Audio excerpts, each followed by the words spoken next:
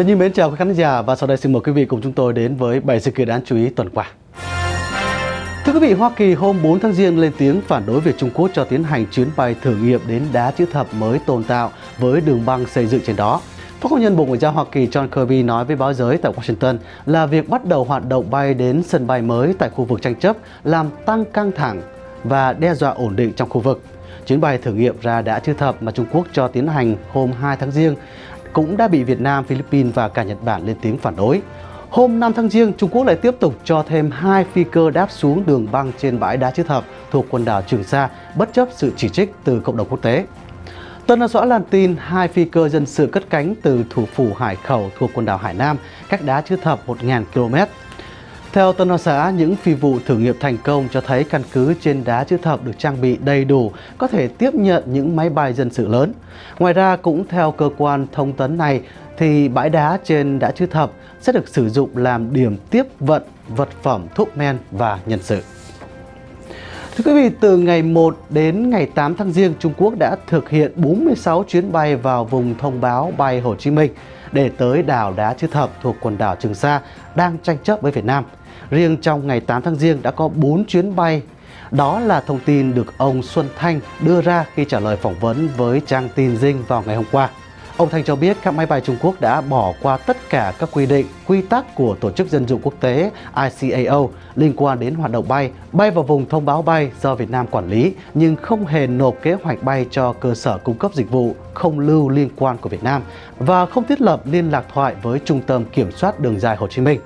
Trước đó, Cục Hàng không Dân dụng Việt Nam cũng đã gửi văn bản đến Văn phòng Tổ chức Hàng không Dân dụng Thế giới để thông báo về việc Trung Quốc đưa máy bay ra đã chữ thập, ảnh hưởng đến an toàn bay. Hôm 6 tháng Giêng vừa qua, Bộ Ngoại giao Việt Nam đã ra tuyên bố phản đối Trung Quốc đưa máy bay đáp xuống sân bay được nước này xây dựng trên đá chữ thập mà Việt Nam cũng đòi chủ quyền. Phó Thủ tướng kiêm Bộ trưởng Ngoại giao Việt Nam Phạm Bình Minh vừa trao đổi về Biển Đông cùng với những vấn đề khác trong cuộc điện đàm với Ngoại trưởng Hoa Kỳ John Kerry vào tuần vừa qua.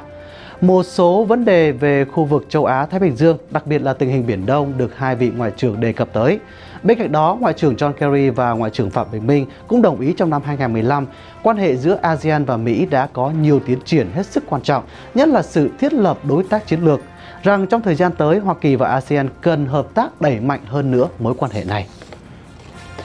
Tất cả các cường quốc đều lên tiếng phản đối vụ thử bom kinh khí mà chính phủ Bắc Hàn mới thực hiện, đồng thời kêu gọi Hội đồng Bảo an Liên Hợp Quốc phải có phiên họp khẩn về sự kiện quan trọng này.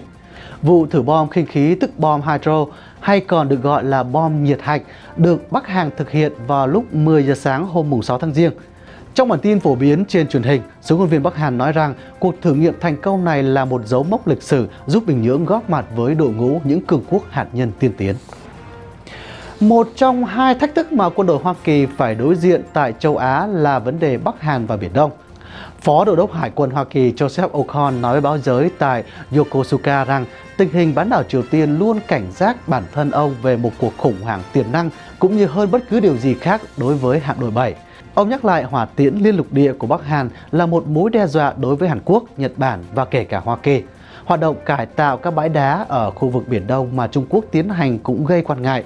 Ông kêu gọi các quốc gia liên quan cần phải giải quyết tranh chấp lãnh hải một cách hòa bình. Thưa quý vị, thành phố Hải Phòng và tỉnh Quảng Ninh vừa chính thức cảnh báo một số dòng máy tính tức máy computer của hãng Lenovo Trung Quốc có cài đặt phần mềm gián điệp trước khi xuất xưởng. Những phần mềm này được điều khiển từ xa và có khả năng gây mất an toàn an ninh thông tin trong hệ thống mạng của các cơ quan nhà nước Việt Nam. Ngoài thành phố Hải Phòng, Ủy ban Nhân dân tỉnh Quảng Ninh cũng ra công văn với nội dung áp dụng các biện pháp cần thiết để ngăn chặn nguy cơ lây nhiễm mã độc vào mạng máy tính cơ quan nhà nước. Và sau cùng thưa quý vị, Hội những người bảo vệ quyền dân sự kêu gọi nhà cầm quyền Việt Nam phải trả tự do ngay cho luật sư Nguyễn Văn Đài và nhà đấu tranh dân chủ Lê Thu Hà. Kêu gọi của Hội những người bảo vệ quyền dân sự là tiếng nói cùng với 26 tổ chức xã hội dân sự khác. Những tổ chức xã hội có chữ ký trong bản kêu gọi bày tỏ sự lo lắng rằng luật sư Nguyễn Văn Đài và bà Lê Thu Hà có thể phải chịu đánh đập, tra tấn trong lúc bị tạm giam. Luật sư Nguyễn Văn Đài và bà Lê Thu Hà bị cáo buộc tuyên truyền chống nhà nước theo Điều 88 Bộ Luật Hình sự, có thể phải chịu bản án từ 3 đến 20 năm tù. Vừa rồi là những sự kiện đáng chú ý trong tuần qua. Chân xin cảm ơn và xin kính chào tạm biệt. Hẹn gặp lại quý vị vào chương trình lần sau. Mến chào.